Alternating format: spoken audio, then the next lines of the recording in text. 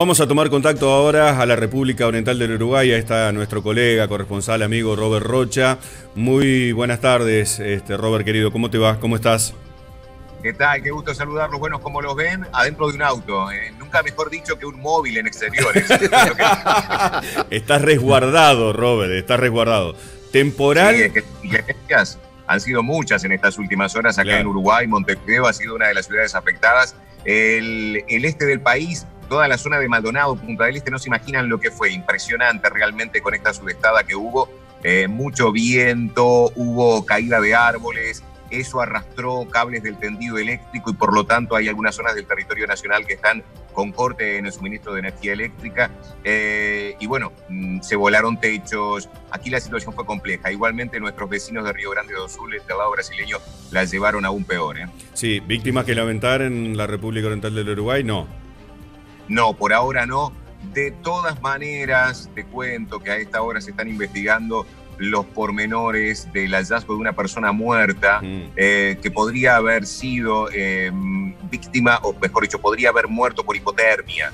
Una persona en situación de calle. Esto complica mucho lo que el gobierno ha estado realizando y convocando desde el Ministerio de Desarrollo Social para que la gente no quede en la calle. Eh, ustedes saben que bajo el Pablo Bartol, bajo la gestión de Pablo Bartol, nuevo ministro de Desarrollo Social, y cuando digo esto de nuevo, en realidad no olvidemos que el gobierno asumió el primero de marzo y mayoritariamente lo que en este, en este periodo que llevan de gobierno eh, se han dedicado es a atender la emergencia sanitaria en virtud de la pandemia.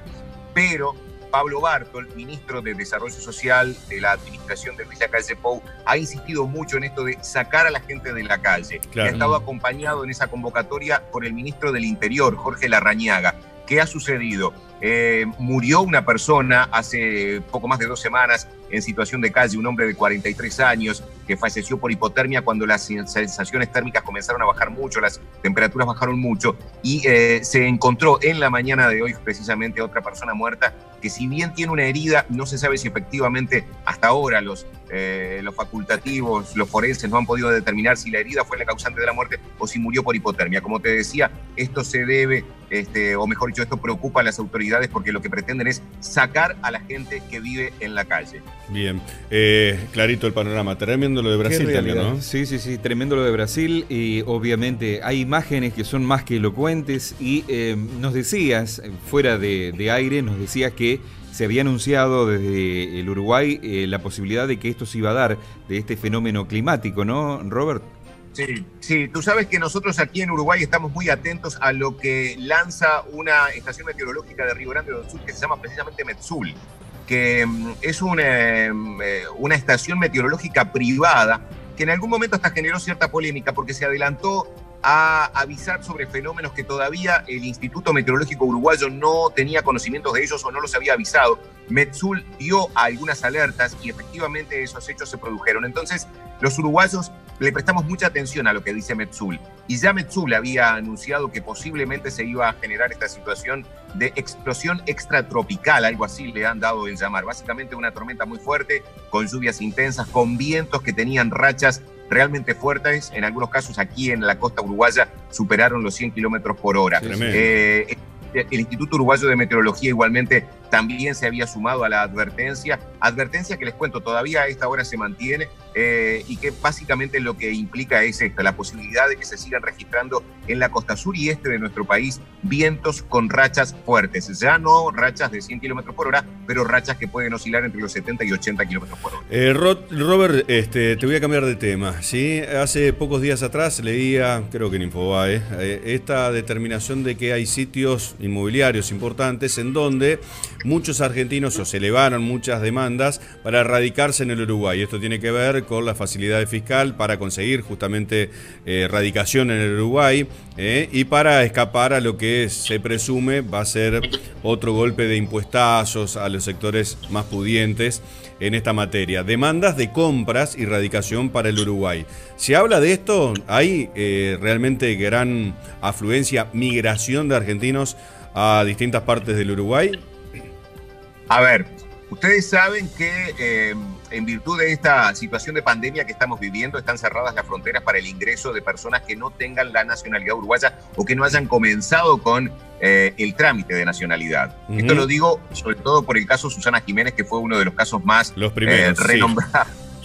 Este, ¿Cuál fue el argumento que Susana Jiménez utilizó para, de alguna manera, evadir la cuarentena obligatoria que se estaba que se está imponiendo en Argentina y llegar a nuestro país, que ella había comenzado el trámite de erradicación en nuestro país y que por lo tanto, como tal, estaba beneficiada por estas, este, estas decisiones del gobierno uruguayo. Así que si uno dice, ¿están viniendo argentinos a interesarse por la cuestión inmobiliaria en nuestro país para radicarse? No, no pueden entrar, de hecho. Es decir, no hay hoy día visitas de argentinos que lleguen a Uruguay para interiorizarse. Están habiendo llamadas a inmobiliarias pues algunas inmobiliarias están manejando que sí. Sin embargo, esta no es la, quizás la noticia más destacada. Vamos a decirlo de esta manera, de la Argentina. Convengamos que si un productor argentino llega con la intención de comprar un campo o de invertir en el sector agropecuario, vale mucho más que quizás lo de la casa de 400 mil dólares sea algo chica, seguro. ¿no? En algunos casos para radicar a su familia. Pero bueno, hasta ahí es lo que, hasta ahí es lo que sabemos.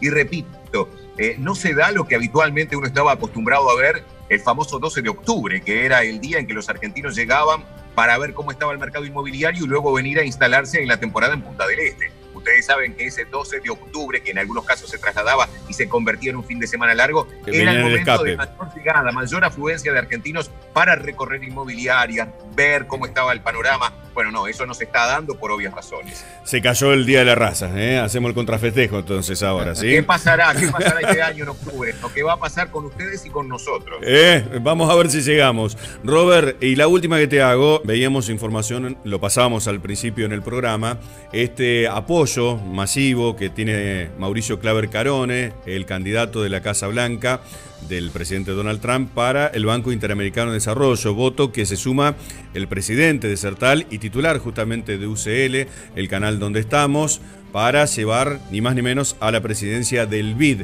¿Qué se dice en torno a esto? Exactamente, un funcionario muy cercano al presidente Donald Trump, un hombre que entiende en asuntos vinculados al hemisferio, un hombre que a partir de su vínculo precisamente con el continente está muy bien visto por eh, gobiernos de Latinoamérica. No olvidemos que el Banco Interamericano de Desarrollo en una oportunidad estuvo presidido por nuestro uruguayo Enrique Iglesias, el contador Enrique Iglesias, y entendemos que fue una gestión realmente muy destacada. Por lo tanto, los uruguayos creemos que algo entendemos, digamos, de lo que se necesita en el Banco Interamericano de Desarrollo y se está apoyando desde aquí, aunque no se ha hecho oficial todavía ese apoyo. Eh, obviamente los organismos todavía no han manifestado nada al respecto, pero sí, como tú lo decías, desde CERTAL, desde este Centro de Estudios eh, sobre la Libertad de Expresión, se ha visto con muy buenos ojos la posibilidad de que Mauricio Claver Carone sea candidato a presidir el Banco Interamericano de Desarrollo, una institución que para el crecimiento de nuestro continente es clave, es fundamental.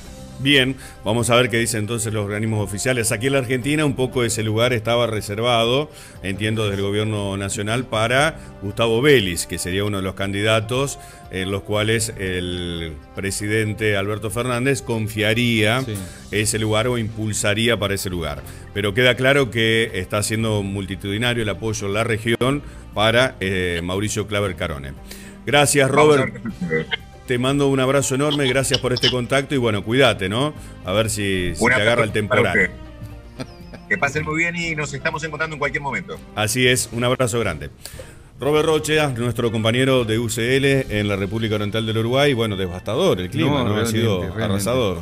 Realmente, sí. Em, lo importante de destacar, Horacio, es eh, fundamentalmente eh, la idiosincrasia uruguaya.